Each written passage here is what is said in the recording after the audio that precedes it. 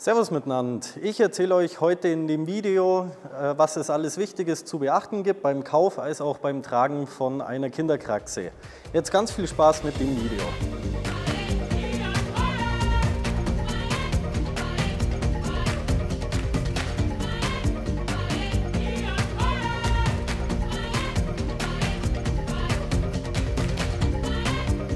Damit herzlich willkommen bei Explorer Hotels, dem Kanal für Aktivurlaub in den Alpen.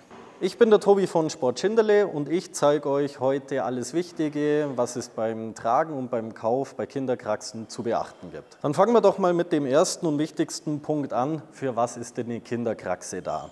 Eine Kinderkraxe kann man wirklich hernehmen für Spaziergänge, für Wanderungen. Äh, wenn die Eltern mit ihren Kleinen eben in die Berge gehen möchten, die werden dann einfach hinten neigesetzt, damit die Eltern auch mit ihren Kindern in den Bergen Spaß haben können. Eins der wichtigsten Sachen, was es bei den Kraxen zu beachten gibt, äh, meiner Meinung nach ist es wirklich, dass die individuell einzumstellen ist damit auch die Eltern sich abwechseln können mit dem Tragen. Heißt, dass man eben die Rückenlänge zum Beispiel anpassen kann. Da gehe ich nachher ein bisschen genauer drauf ein. Und ganz besonders wichtig ist eben auch, dass sich die Kleinen hinten drin wohlfühlen. Da bekommt ihr nachher auch noch ein paar Infos von mir. Welche Frage ich oft gestellt bekomme, ist, ab wann kann man denn eine Kraxe hernehmen? Äh, wichtig ist, dass die Kinder von alleine schon aufrecht sitzen können. Ist bei den meisten so im neunten, zehnten Monat. Äh, wenn sie dann eben alleine hocken können, können sie auch ohne Probleme hinten in der Kraxe sitzen. Heißt, es gibt kein konkretes Alter, ab wann man das Kind in die Kraxe setzen kann. Was natürlich auch ein wichtiger Punkt ist, ist das Thema Gewicht. Die Kraxen haben unterschiedliche äh, Gewichte, die der Hersteller auch vorgibt, bis wie viel Gewicht die Kraxen ausgelastet sind.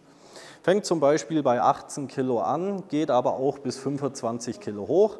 Das ist aber dann äh, bei den Modellen unterschiedlich. Was natürlich für die Eltern wichtig ist, ist der Tragekomfort beim Laufen. Letztendlich ist so eine Kraxe aufgebaut wie ein Rucksack. Bedeutet ganz einfach, dass diese Hüftflossen auf dem Beckenknochen aufliegen sollen, weil da sollte das meiste Gewicht lasten. Weil der Beckenknochen ist einfach kräftiger wie die Schulter, damit hier das meiste Gewicht lastet. Natürlich sollen auch die Träger und auch das Rückentragesystem sauber anliegen, damit man einfach eine schöne Gewichtsverteilung hat. Ist einfach für die Eltern angenehmer zum Tragen, wenn es nirgends drückt oder zwickt. Natürlich gibt es bei den verschiedenen Modellen Unterschiede. Vom Prinzip sind die Kraxen alle gleich aufgebaut. Ich habe hier mein Tragesystem, äh, was am Rücken anliegt, über die Träger an der Schulter und wie schon gesagt, die Hüftflossen auf dem Beckenknochen. Unterschiede gibt es, wie die Kraxe an sich aufgebaut ist. Wenn wir die zwei Kraxen einmal vergleichen, Allein schon das Kopfteil hinten dran ist hier unterschiedlich hoch. Das bedeutet einfach für die Kleinen, äh, wenn sie zum Beispiel schlafen möchten, können sie ihren Kopf einfach gemütlich anlehnen, dass der Kopf nicht nach hinten durchhängt. Auch seitlich ist hier die Lehne ein bisschen hochzogen, damit, wenn der Kopf seitlich auch liegt, dass da einfach ein bisschen Unterstützung da ist. Ein weiterer großer Unterschied bei den Kraxen ist natürlich auch, wie kann ich auch meine Kraxe sauber machen. Da solltet ihr beim Kauf auch wirklich drauf schauen, weil die Kleinen sitzen natürlich hinten drin, haben Mods die Gaudi und es kann vielleicht einmal sein, dass die Kraxe einfach ein bisschen dreckig wird. Schaut da wirklich beim Kauf drauf, dass man äh, die Polster waschen kann. Sind meistens über Druckknöpfe befestigt, kann man abziehen, ab in die Waschmaschine und dann ist es wieder schön sauber.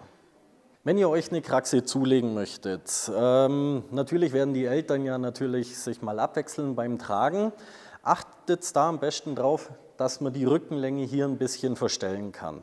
Weil wenn wir nämlich Größenunterschiede bei den Eltern haben und ich habe eine fixe Rückenlänge, kann es sein, dass es dem anderen einfach nicht so gut passt. Dass die Hüftflossen nicht gescheit aufliegen oder die Träger nach oben abstehen. Da ganz einfach eine Rückenverstellung wählen, dass man das für jeden individuell anpassen kann. Beim Anziehen einer Kraxe oder beim Aufsetzen einer Kraxe ähm, bietet sich an, wenn die Kraxe schon etwas äh, höher steht. Natürlich soll es sicher stehen, äh, damit die Kleinen nicht rausfallen können. Weil dann tut man sich einfach ein bisschen leichter, die Kraxe aufzuziehen. Ist wie ein Rucksack, einfach anlegen aufstehen. Natürlich richtig verschließen, wichtig, auch die Hüftflossen schön festziehen, damit hier wirklich sauber das Gewicht lastet. Dann die Träger auch noch ein bisschen anziehen. Mit dem Brustgurt kann man das Ganze noch fixieren. Und jetzt kann es eigentlich schon losgehen. Wichtig beim Laufen ist auch, dass man hier hinten diesen Bügel nach vorne klappt. Der Bügel ist äh, für das gut, dass ich die Kraxe einfach abstellen kann, das Kind sauber reinsetzen, äh, dass da eben nichts umfällt. Zum Laufen sollte man es aber wirklich einklappen, damit ich nirgends hängen bleibe. Und jetzt kann es losgehen. Wenn ihr jetzt Pause machen wollt oder fertig seid, ihr müsst ja die Kraxe natürlich auch wieder ablegen können. Da geht es ja dann einfach her, klappt den Bügel wieder nach hinten, geht super einfach. Dann natürlich die Verschlüsse öffnen und natürlich auch vorsichtig die Kraxe wieder abnehmen.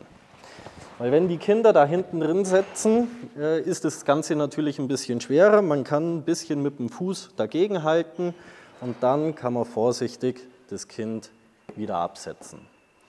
Wenn man zu zweit unterwegs ist, äh, kann man sich gegenseitig natürlich helfen. Drum haben die Kraxen hier hinten einen zusätzlichen Griff, dass der Partner beim Aufsetzen helfen kann. Was bei den Kraxen natürlich auch noch wichtig ist, ist die Sitzposition vor den Kindern. Natürlich kann man die Sitzposition entsprechend der Kindergröße einstellen. Gerade die kleineren Kinder, die sollten ein bisschen kompakter in der Kraxe sitzen, weil die oftmals die Körperspannung noch nicht ganz aufbringen können, dass die sauber drinnen sitzen. Drum da ein bisschen enger schnallen.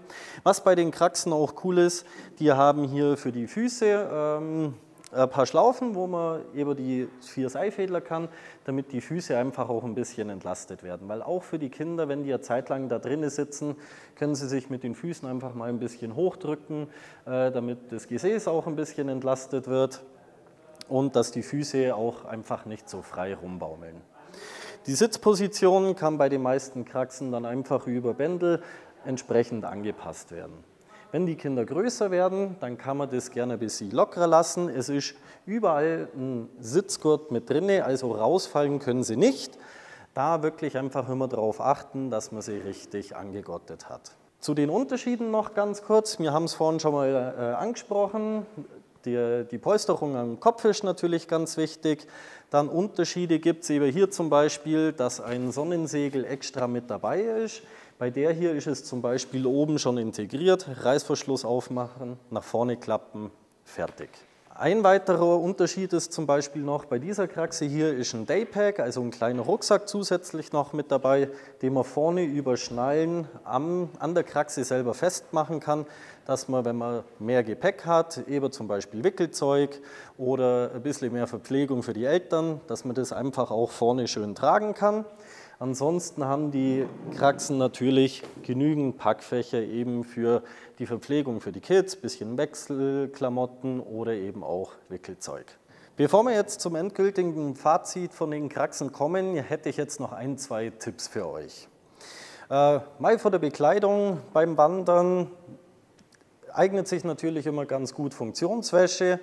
Ähm, viele tragen auch gerne Merino-Klamotten, weil es ist ja auch immer das Thema Schwitzen. Ähm, die Kraxen, die haben schon ein Belüftungssystem. Es ist allerdings so, schwitzen wird man aber trotzdem. Weil der Rucksack äh, bzw. die Kraxe mit den Kits dann drin haben, hat dann doch ein bisschen ein Gewicht. Man wird zum Schwitzen kommen, aber eben über das Belüftungssystem nicht ganz so stark. Von der Kleidung her, wie beim normalen Wandern, auch dem Wetter entsprechend immer die Klamotten anziehen. Und ein ganz wichtiger Tipp, äh, die Empfehlung kann ich wirklich jedem geben, durch das, dass ihr relativ viel Gewicht auf dem Rücken habt, könnt ihr gerne Stöcke hernehmen. Wanderstöcke eignen sich einfach ganz gut, um etwas äh, Gewicht auf die Arme zu verlagern, entlastet den Rücken etwas und man hält einfach auch länger durch. Wenn ihr zu zweit unterwegs seid, tut es einfach mal abwechseln. Einfach, damit man wieder die Schultern einfach ein bisschen entlasten kann, ist für jeden dann einfach ein bisschen angenehmer. So mein Fazit jetzt zu den Kraxen. Die Kraxen eignen sich hervorragend, wenn man einfach auch größere Touren mit den Kindern vorhat. Wenn die das jetzt eben rein konditionell oder körperlich einfach noch nicht ganz schaffen, kann man sie einfach hinten reinsetzen und mit denen wirklich auch größere Touren machen. Macht super viel Spaß mit den Kids in den Bergen unterwegs zu sein. Es ist genügend Stauraum vorhanden für Verpflegung und Gepäck.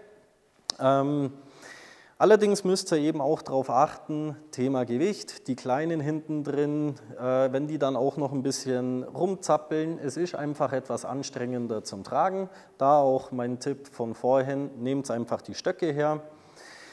Bei den Kraxen ist es leider auch so, die sind nicht ganz günstig in der Anschaffung. Mal klar, die kann man sehr lang hernehmen, gerade auch wenn man mehrere Kinder hat, dass man das dann einfach immer weitergibt. Ansonsten findet sich eigentlich immer jemand, der mit einer Kraxe noch was anfangen kann. Habt ihr irgendwelche Fragen oder Tipps auch noch zu Kraxen? Könnt ihr das gerne in den Kommentaren unten mit dazu schreiben. Und falls ihr mehr von Explorer Hotels sehen wollt, könnt ihr hier klicken. Bis dahin, macht es gut. Servus, ciao.